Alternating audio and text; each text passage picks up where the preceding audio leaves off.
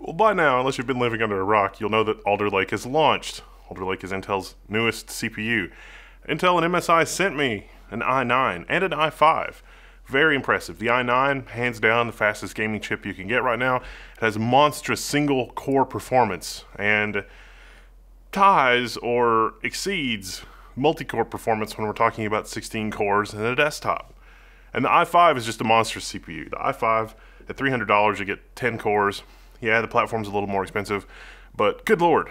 This is the i7. Intel didn't send me this. I bought it. It's eight performance cores, just like the 12900K, but it's only four efficiency cores. The 12900K is eight efficiency cores.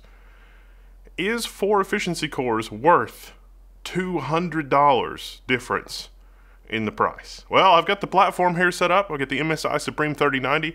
I've got the ML360 Core Liquid, and I've got the Z690 Unify from MSI. Let's take a look.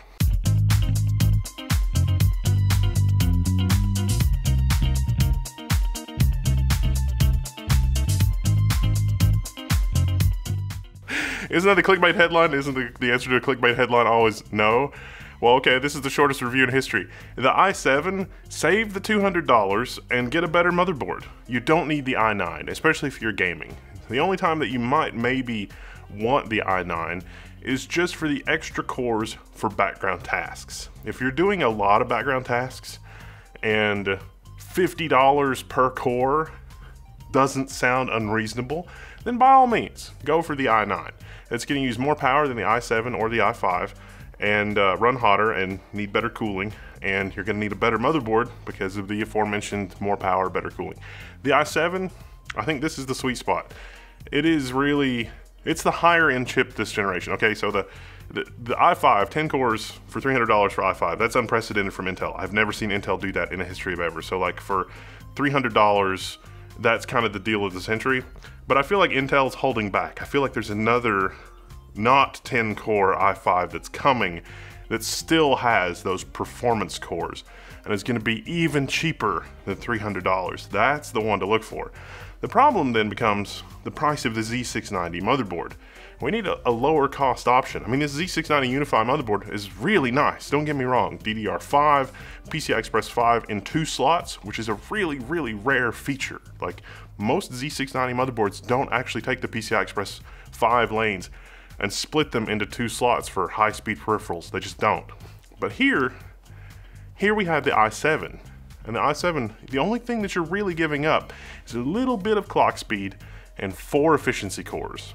And for the gaming benchmarks, it shows virtually zero difference. It's within margin of error. The differences that there are are really down to clock speed differences, but on that 12900K, that 5.3 gigahertz thermal velocity boost, that's fleeting at best. So you're not going to be able to feel a difference between the i7 and the i9 in any kind of gaming scenarios. And when you're doing rendering, you know, if you're doing an hour long render, the i9 might be able to complete it a little quicker, but you save $200. If it was me, I would probably rather put the $200 toward a nicer motherboard. I'm on the fence with DDR5 though. DDR5 is so much more expensive than a good kit of DDR4. It's really hard for me to really say one or the other. DDR5, of course, is is more, you know, future proof, future compatible. If you have a fear of missing out in the future, you'll probably buy DDR5. But from a practical standpoint, DDR4 with the i7 and a lower cost 250-ish dollar motherboard was probably the best deal right now. You see, right now the i9 12900K is around 630 forty dollars, something like that. It's supposed to be you know like 590 MSRP, but it's hovering around 640. This i7 you can get all day long for about 420. Ah. And then of course the i5 10 core is around 300. That is incredibly aggressive pricing for Intel. Again, Intel doesn't do that very much. Where they're making up a little bit of that, probably, is in the chipset cost. You see, motherboard manufacturers also have to pay for Z690 chipsets. So it feels like when we're looking at, you know, the features of the motherboard versus competing features on a competing platform, gosh, those motherboards seem a lot less expensive. Of course, there is no competing motherboard that has PCI Express 5. But then also, of course, there is no GPU right now that's PCI Express 5. So, you know, you can turn that into whatever kind of an argument you want. It, it doesn't really matter. But enough rambling. Let's actually take a look at the benchmarks. As we go through the benchmarks here, you can see there's pretty much no difference in gaming performance. I'm going to say that there's basically zero gaming performance. So you probably don't need the i9. If you want to go for the monster P-core performance, which is, to be sure, I mean, you, if you want that close to 2,000 single-thread Geekbench score, you can get that from the i7, no problem. You don't need the i9 for that. And at like $420, that's pretty mind-blowing. So save some money, maybe join the level one Patreon or Floatplane. I don't know, if you want to argue with me or uh, you know, tell me how wrong I am or something like that, come to the level one forums because that's where I'm hanging out. The only other real argument here is that this platform, whether i7 or i9, does kind of need some beefy cooling. You're going to be spending a little bit on a good cooler to keep the chip from thermal throttling if you're running at full tilt all the time. If you're gaming, using regular, normal gaming workloads, that's much less true. In fact, if you uh, limit the number of watts that the i7 uses, it is only a little bit less efficient than the competing platform in terms of compute per watt. But if you let it open up, you can really, you can let it open. I mean, the, the i9 will happily choke back 241 watts plus.